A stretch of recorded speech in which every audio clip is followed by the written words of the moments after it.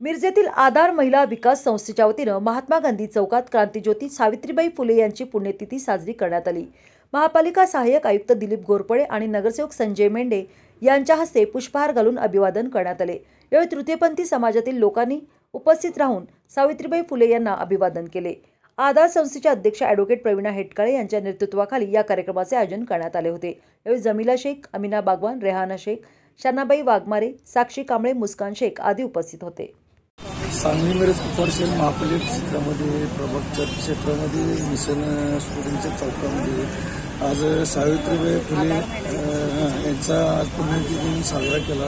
त्यामध्ये प्रामुख्याने Etkali madam advocate Etkali madam यांचे सहकारी सगळ्या महिला यांनी विविध कार्यक्रम केला या कार्यक्रमाला मला बोलवून माझे माझ्यातर्फे हा कार्यक्रम माझ्या हस्ते केला. याबद्दल मी सगळ्यांचं धन्यवाद मानतो आणि या कार्यक्रमाची उपस्थिती सगळ्यात त्यांनाही आभार मानतो. नरेंद्र मोदींना एक पत्र पाठवत आहे की जसं बाकीच्या योजना महिलांसाठी केलेल्या आहेत त्या त्याच त्याच प्रकारे आज आमच्या महिलांना ज्या आर्थिक परिस्थिती गरिबीची आहे आणि त्यांना शिक्षण घेण्याचं आहे पण आर्थिक परिस्थिती अभावी त्यांना शिक्षण घेता येत नाही.